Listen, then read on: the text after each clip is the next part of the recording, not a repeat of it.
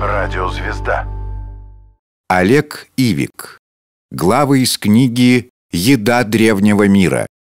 Читает Андрей Филиппак. Степь глазами археологов. Когда мы изучаем обеденное меню великих цивилизаций Месопотамии и Египта, у нас возникает немало вопросов.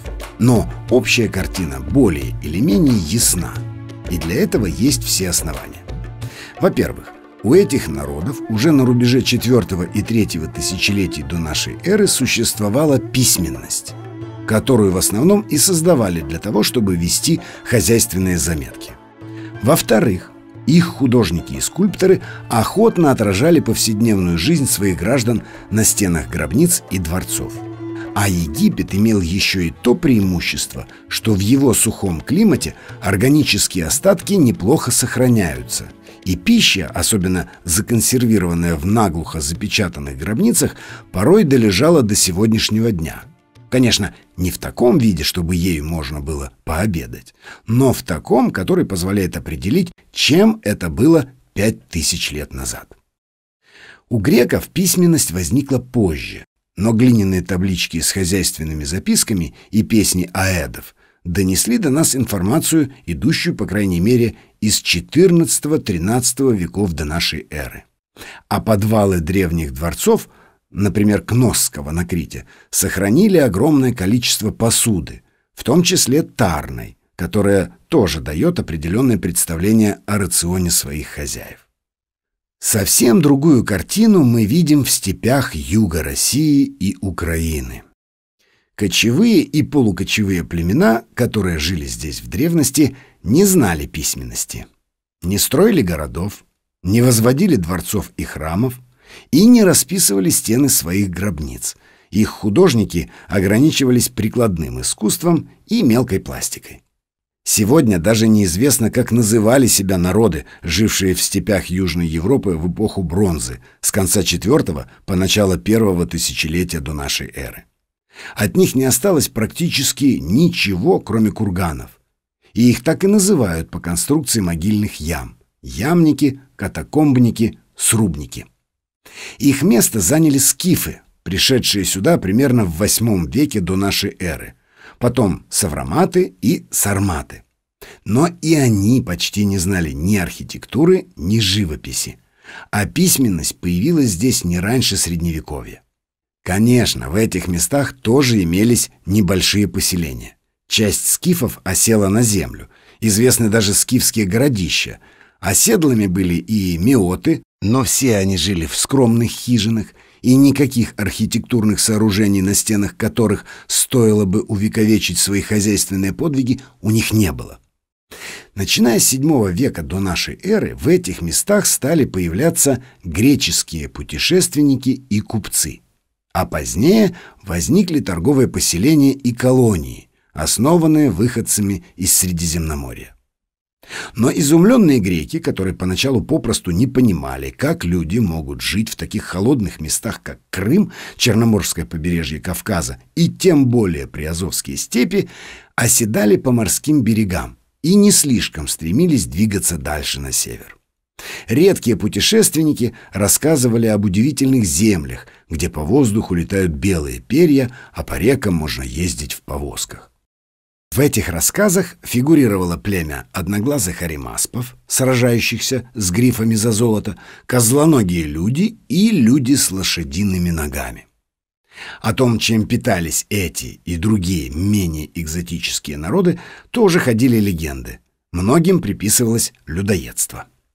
Собственно, первым ученым, который побывал на Северном Причерноморье и оставил более или менее достоверные записки об его жителях, был Геродот. Но и он не устоял и сообщил своим читателям и об аримаспах, и о козлоногих, и даже о людях, спящих шесть месяцев в году. Впрочем, по поводу существования последних Геродот высказал решительные сомнения.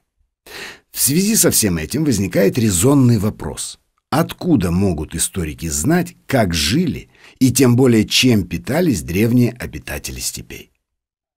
Поэтому, начиная разговор о том, как же они действительно питались, мы решили сказать несколько слов о том, как работают археологи, антропологи, остеологи, палеоботаники и прочие ученые, которые этот вопрос исследуют.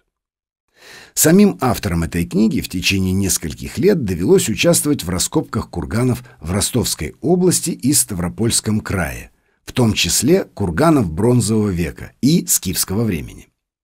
Доводилось и слышать, как кто-то из антропологов, глядя на очередной скелет, перечислял болезни, которыми страдал в свое время обитатель кургана. Конечно, далеко не все можно определить по костям, тем более зрительно. Но нарушение обмена веществ, то есть болезни, связанные прежде всего с питанием, можно. Люди 21 века привыкли считать, что они плохо и нездорово питаются и едят слишком много химии, что они забыли о натуральной пище, и отсюда проистекают все их проблемы со здоровьем. Бытует уверенность, что наши предки питались значительно здоровее, а значит и сами были здоровы, пока не умирали от очередной эпидемии. Достаточно посмотреть на несколько древних скелетов, чтобы понять, что это не так. Конечно, лучше, чтобы на скелеты смотрел специалист, поэтому мы, лично полюбовавшись на изуродованные суставы и позвонки, но мало что поняв, предпочли обратиться к статьям, посвященным физической антропологии, например, скифов. Каких только болезней не обнаружили ученые, исследовавшие их костные останки. Меньше всего эти несчастные степняки были похожи на могучих блоковских скифов, которые привыкли ломать коням тяжелые крестцы и усмирять рабынь строптивых. И дело совсем не в том, что они, вопреки поэту, вовсе не были раскосыми азиатами, а имели самую что ни на есть европейскую внешность. Дело в том, что они массово страдали от остеохондроса и спондилеза, деформирующего полиартрита и различных костных разрастаний. Правда, эти болезни имеют наследственный характер. Кроме того, их развитию способствует холодный и влажный климат. Но, пожалуй, климат причерноморских степей можно назвать таковым лишь с очень большой натяжкой, хотя греки считали, что здесь царят немыслимые морозы. И в том, что наследственная предрасположенность становится болезнью, виновата прежде всего питание. А питались скифы, судя по состоянию их костей, очень однообразно, нездорово и в основном молочными продуктами. Что, кстати, не спасало их от остеопороза. Считается, что люди, которые употребляют много молока, а значит и кальция, остеопорозом болеть не должны. Но питание скифов было настолько неправильным, что никакое молоко не помогало. Специалисты пишут про изученную ими группу скифов из могильника Терновая-1, Колбина-1 в Воронежской области, что у них в возрасте после 40 лет процессы старения развивались интенсивно и сопровождались резкой перестройкой минерального обмена. Одной из причин остеопороза считают избыток холестерина. А это значит, что, по крайней мере, люди из этой выборки, возможно, злоупотребляли и мясной пищей. А вот с зубной эмалью у большинства скифов все было более или менее в порядке. В выборках VII века до нашей эры кариес у них вообще не встречался. И даже у рожавших женщин зубы были хорошими. Это означает, что растительной пищи, и прежде всего углеводов, скифы почти не ели. Ведь именно их остатки во рту создают благоприятную среду для бактерий, вызывающих кариес. Здоровая эмаль свидетельствует и о том, что они питались в основном молочной пищей, содержащей много кальция. Но позднее, в IV веке до нашей эры, скифы, погребенные в курганах Чертомлыцкого могильника на юге Украины, уже знали, что такое кариес. Он был отмечен у 32% взрослых. А у скифов Подонья зубная эмаль по-прежнему была в порядке. И это наводит ученых на мысль, что жители Подонья сохранили свою традиционную схему питания, в то время как их южноукраинские сородичи попали под влияние греков, которые увлекались и сладкими лепешками, и медовыми кашами, и фруктами. Мы читали главы из книги Олега Ивика «Еда древнего мира». Радиозвезда.